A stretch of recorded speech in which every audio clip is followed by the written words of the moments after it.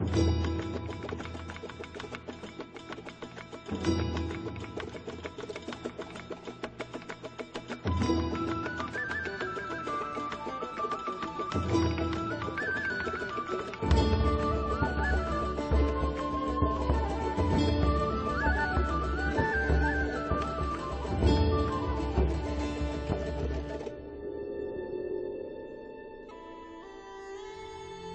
خب سعید معروف بچه ارومیه.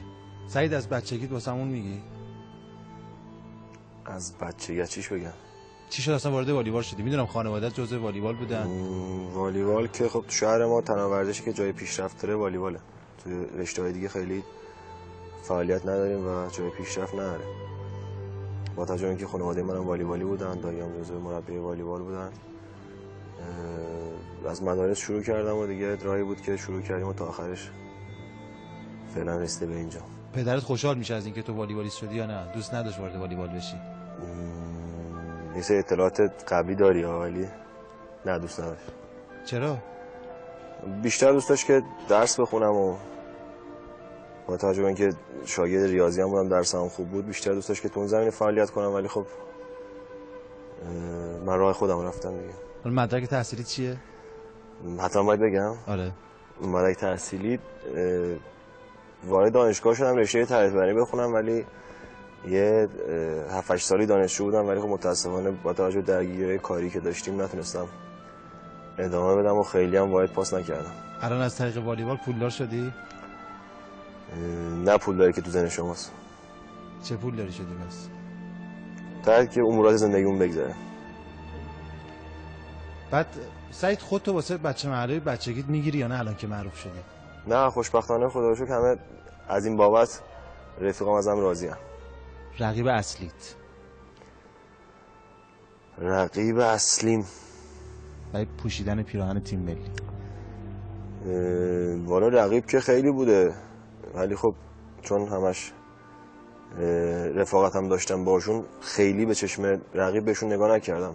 پاسورای خیلی خوبی دارن هم هم دوره ما هم قبل از ما. همیشه تو این نسلی که چه تو نسل ما و چه تو نسل قبلی چهار پنج تا پاسور خوب داشتیم. با هم رقابت داشتیم ولی خب خیلی تبدیل به جنگ و جدل نشده. امیر حسینی. امیر حسینی از این جواب کوتاه هست یه کلمه باید بگم. هر چی دوست داری. امیر حسینی هم جزء پاسوری بود که واقعا برای والیبال ایران زحمت کشید و فکر کنم که اونجوری که باید شاید ازش تقدیر نشد من می‌تونم این توپ والیبال برات بندازم؟ باید بگیرم. آره من نمی‌تونم می‌تونم ردش کنم نگیرم. خب یه جمله بهش بگو. جمله که هرچی تو زندگیم دارم از اینه دیگه.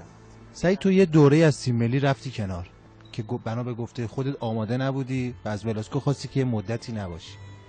رفتی و خیلی آماده تر برگشتی. چی بود اون قضیه؟ از نظر روحی آماده نبودی؟